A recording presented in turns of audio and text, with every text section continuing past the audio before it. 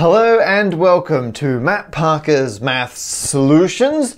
I'm Matt Parker and the math solution this time is for the arranging cats and dogs puzzle, which may be my favorite name to one of our puzzles so far. This was the question where if you had 10 uh, kennels in a row and you're not allowed to put cats in consecutive, like adjacent kennels, how many ways can you arrange it if you have to fill it with cats and dogs? We'll get back to the word and in a moment. So the correct answer was 144. There are 144 different ways that you can do that. We will show you exactly why in a moment, but I want to flag up that uh, now a contender for a joke of Matt Parker's Maths Puzzles, James sent in a Catusfactory solution. Oh, oh, wait, I'm getting word. We've been told that yes, that is the pun of the season. So we can now officially celebrate. There we go. Good job, James. There you are. So, if we now look at the stats uh, behind this puzzle, how many people got 144? We had 1,184 correct answers sent in. Great work. Out of a total of just over 1,500. So that's pretty much three quarters of people who sent an answer got the correct answer. And uh, Oliver, who runs the database, uh, then went through and found the most common responses. And the correct answer, obviously the most common, followed by one fewer. And those are the people who we suspect did not include all dogs. Not the null solution, but the dog solution. So if you don't have any cats, if you've got a cat-free solution, um, you get 144. If you exclude that solution, you get 143. Uh, Zoe, who it was her idea to run the puzzle this time, um, when she was solving it, she'd made a note um, that you got the, the um, cat-free solution. And so for those people, we're going to give you the correct points, like the correct solution points for this puzzle, but we're not going to give you the speed points. We felt bad because I used the word and. And strictly speaking, you could say, well, you said you have to use cats and dogs, not war.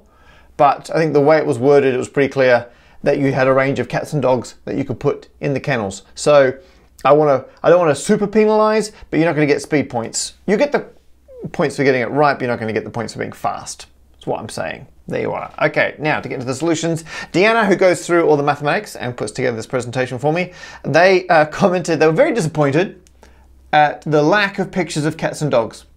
We had high, high hopes, although some people did go all out on emojis. There was a comment um, which was held for review.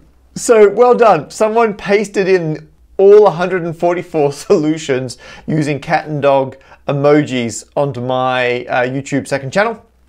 And YouTube was like, that is not a legitimate comment. And so it was held for review. I think it's excellent. Well done. Um, I will now set that um, to uh, be published. I'll authorize that one to go out. And other people too. So um, I made a quick note of some other ones we got in. Uh, Lee Smith emailed in something very similar, and David Patterson uh, also did a thing with emojis, and the, um, David used hot dog emojis for the dogs. Great work, David. Right, those are some real solutions. Uh, Nick, uh, working with their offspring, worth mentioning. Well done, Nick's offspring. They did it in binary.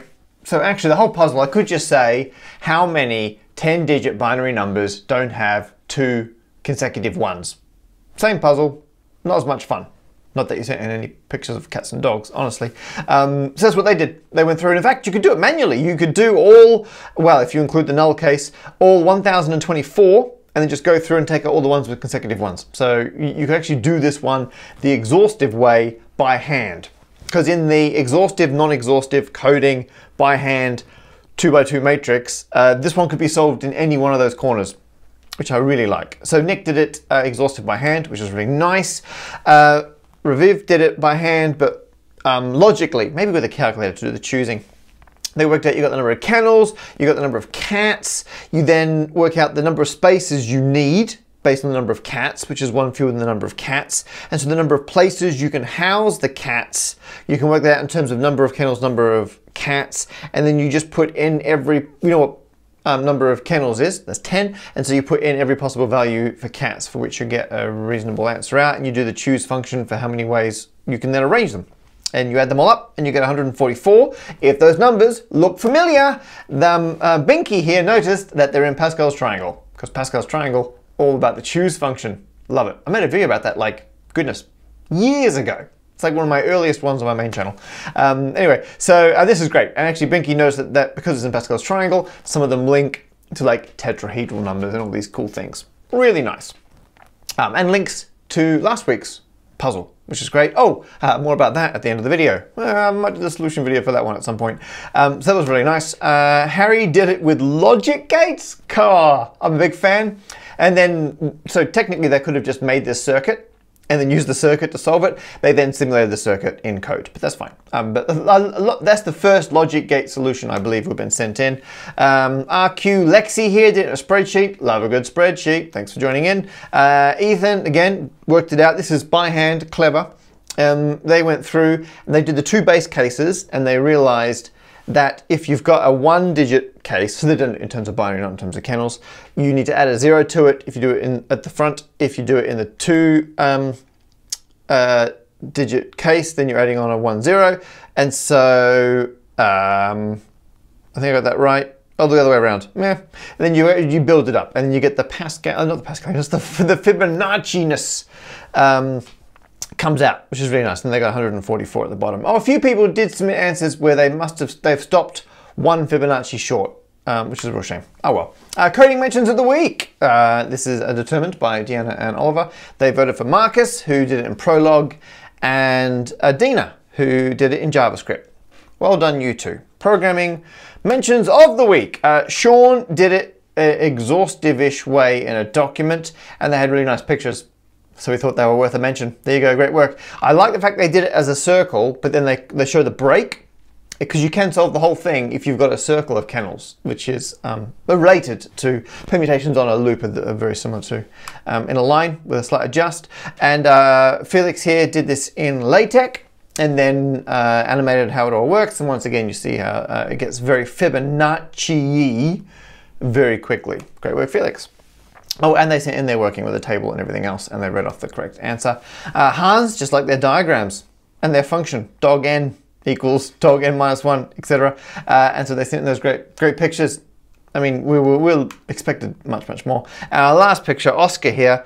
Um, I don't know if that's a Fibonacci spiral on the cat's tail. It might be a log, log spiral. Hmm. Anyway, uh, they noticed a fractal-like nature to the binary numbers when um, you plot uh, color in the ones or the cats. Sorry, the kennels. Color in the kennels for the cats, uh, and you get this cool fractal-like nature. So that's great. And so one of the reasons why I, I was a big fan of this puzzle when Zoe suggested it um, to use for this time around was you can solve it in so many different ways. And so that for me is what makes a good puzzle. You can go off and you can program and look at extreme cases. You can try and program it clever. You can program it exhaustive. You can do it by hand exhaustive. You can do it by hand clever. You can use a spreadsheet. Oh, that's probably a cube of options there. Uh, and so you can have a lot of fun with it. And so as always, thank you so much everyone who gets involved in Matt Parker's Math Puzzles announcement for next week. The uh, next puzzle will be out. This will be, now be the 18th puzzle will be coming out, the second last one. Actually, that's like a sub announcement. We're doing 19, in case you missed that previously. So there's two more to go, and that's the end of season one. And then uh, we might in 2021 do them occasionally sporadically, just every now and then. We'll chuck out another one or we'll have an interesting bit of maths, but we're not planning to do like a proper series. So we'll see what happens, uh, but we'll freeze the leaderboard um, after 19. I was meant to be away on holidays next week, and so James Grime of Singing Banana fame very kindly offered to do the puzzle. And he's already recorded the video. Good on James Grime. However, thanks to a suddenly announced lockdown here in the UK, I'm not going anywhere. So I'm not going to be on holidays next week. I'm still going to be around. However, James had already offered to do a video. It's a great puzzle, and so that's happening. So the second last one, James Grimes, is going to be our celebrity puzzle setter, and then I'll be back for the very last one, the 19th one, and then we're going to take a break and um, and whatnot. Now, the other thing I'm going to do in a moment is I'm going to carry straight on, and I'm going to record the solution to the how odd is Pascal's triangle puzzle because I tried recording it a new way when I did it last time and the audio was terrible. And I thought I tested it. I thought I did a sample test. I was using a, um, a, a combination of a camera and mic and stuff I haven't used before. It was awful. So I'll link to it. It's online, it's just it's unlisted, but I'm going to redo that puzzle. So uh, thanks for watching this one. I'm glad you got involved. I'm now going to film the other one. So now I'm filming it on my, my phone this time, and I've just kind of, I've, I've got like this mic that goes in. But what I'm going to do to make it look a bit different is I've got this backdrop. I can lower this. So there's a white wall behind this. Is that clear? Here we go. Excellent. Okay, so I got that there. So now, ah, it looks completely different already. So I might put on a jacket too, just to, because I'm going to upload these like pretty much at the same time. So I like to make them look a little bit visually. Um, oh, I can put a pen. I'll put a pen behind my ear. How's that? Yes. Right. So what I can do now is if something really amazing happens, and it's going to be a pretty high bar, I can be like, now that, that there. That's amazing, and I'll, I'll save that up for a special occasion. Something I've learnt um, during the. Shall I put this? You know what, I'm going to put this. Sorry, the audio is going to be bad. Well, I'm going to flip my mic up the other way. I don't know why I don't need the little windsock. Pop it on there. How's that? Here we go. Okay. Uh, something I've learnt uh, wearing a mask, if the elastic of the mask goes around my ears, it's no longer a stable place to put a pen.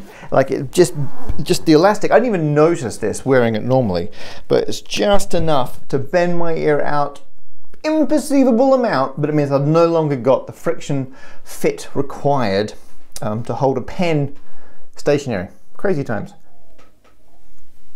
Okay, yes, that mug. Okay, um, right, so let's bring up, where's my, ah, okay, there it is. Okay, right, so, um, okay, that can go back out. Okay, and, um, and we're good to go.